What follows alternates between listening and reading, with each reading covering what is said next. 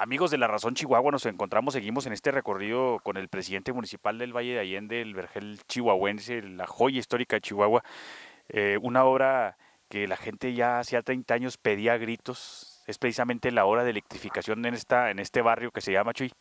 Aquí es la, colonia cordereña y así es, tiene 30 años fundada esta, colonia y 30 años sin electrificación. Gracias al señor gobernador otra vez tenemos la, electrificación en esta colonia ya.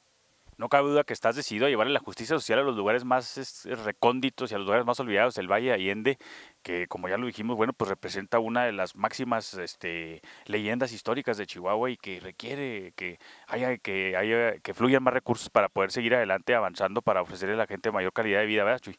Así es, licenciado. Nos metimos en esto y hay que darle hasta el último día. Y aquí resalta tu experiencia como administrador y como constructor, porque bueno, pues sabemos de tu trayectoria tan amplia en los municipios y ahora que te tocó este presidir este hermoso municipio, valga la redundancia, bueno, pues estás echándole toda la carne al asador. ¿Aquí cuánto más o menos invierte? Es una obra, es una obra chica de, 180, de 184 mil pesos, pero que apoya a más de 80 familias aquí en esta, en esta colonia. Y que ya pueden tener refrigerador y ver la televisión, las novelas. Eso es lo malo, que ya van a empezar a ver novelas en lugar de estar platicando en familia.